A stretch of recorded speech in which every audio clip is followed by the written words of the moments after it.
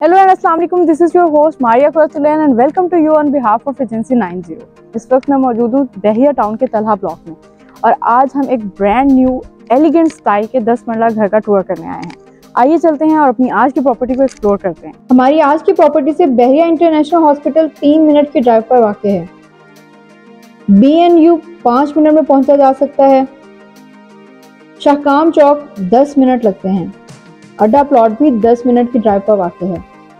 Multan road आप 15 minute में पहुँच सकते हैं, जबकि ठोकर न्याज बेग 20 मिनट की ड्राइव पर लोकेटेड है। मेरे पीछे आप इस स्पेनिश घर की खूबसूरत एलिवेशन देख सकते हैं, जो को बहुत ही खूबसूरत स्टाइल में डिज़ाइन किया गया है। इसके फ्रंट रोड की बात की जाए तो वो 80 फीट वाइड है। इसके साथ आगे बढ़ते हैं और इसके मजीद फीचर को एक्सप्लोर करते हैं। मेन गेट से एंटर होते साथ ही आप देख सकते हैं इस पूरे घर में थीम को फॉलो किया गया है। मेरे राइट साइड पर यहाँ पर खूबसूरत लॉन डिज़ाइन किया गया है। आर्टिफिशियल ग्रास और वुड वर्क और मोजैक आर्ट का बहुत ज़्यादा इस्तेमाल किया गया है। गैरेज की बात करूँ तो गैरेज में तीन गाड़ियाँ इजीली पार्क की जा सकती हैं। और इसके साथ ही एलडीए और बहरिया टाउन के रूल्स को फॉलो करते हुए खूबसूरत एलए भी डिज़ाइन की गई है। अंदर चलते हैं और इस घर का मजीद टूर करते हैं। इस घर के डोर्स को भी टेक्सचर को फॉलो करते हुए डिज़ाइन किया गया है। मेन एंट्रेंस से एंटर होते साथ ही मेरी लेफ़्ट साइड पर खूबसूरत स्टे केस डिज़ाइन की गई हैं, जो फ़र्स्ट फ्लोर को कनेक्ट करती हैं। इसके साथ ही एक पाउडर वॉशरूम डिज़ाइन किया गया है। मेरे राइट साइड पर ड्राइंग रूम डिज़ाइन किया गया है। उसके बाद ये ग्राउंड फ्लोर की मेन एंट्रेंस है। आप देख सकते हैं कि मेन एंट्रेंस से एंटर होते साथ ही मेरे लेफ़्ट साइड पर किचन डिज़ाइन किया गया है, जिसमें एक्स्ट्रा स्पेस के साथ कैबिनेट्स मौजूद हैं। किचन हुड इंस्टॉल किया गया है। स्टोव लगाया गया है। इम्पोर्टेड एसेसरीज इंस्टॉल की गई हैं।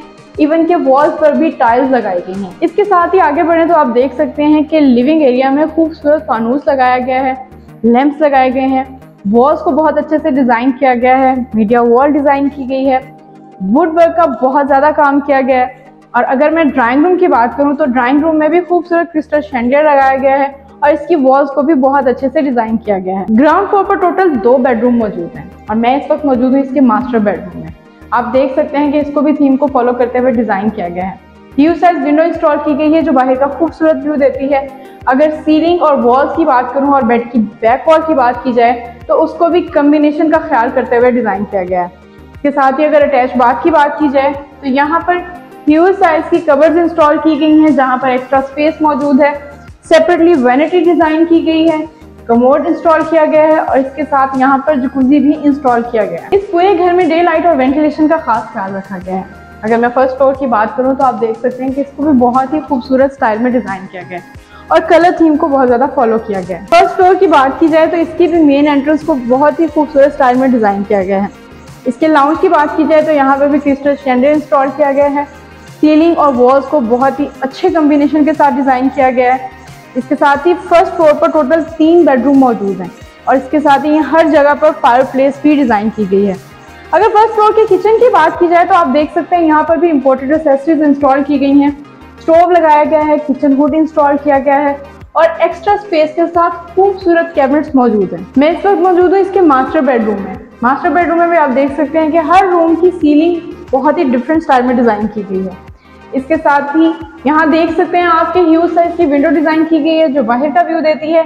अगर अटैच बाथ की बात की जाए तो इसकी वैनिटी बहुत ही खूबसूरत स्टाइल में डिज़ाइन की गई है। और इसके अलावा सेपरेटली कमोड एरिया डिज़ाइन किया गया है शॉवर एरिया डिज़ाइन किया गया है और इम्पोर्टेड असेसरीज इंस्टॉल की गई इस घर के टेरेस को भी बहुत ही खूबसूरत टाइलिंग के साथ डिज़ाइन किया गया है। अगर मैं इसकी प्राइस की बात करूँ तो इस स्पेनिश हाउस की प्राइस चार करोड़ पैंसठ लाख रुपए है। और इसकी सेल्स और मार्केटिंग के राइट्स एजेंसी नाइन ज़ीरो के पास है, जो कि एक बात इदारा है और अरसद रास्ते स्पीड में काम कर रहा है। तो for further details you can contact them उम्मीद है आपको आज का टूर पसंद आया होगा। इस प्रॉपर्टी के बारे में मजीद मालूम आप एजेंसी नाइन ज़ीरो की वेबसाइट पर जाकर हासिल कर सकते हैं।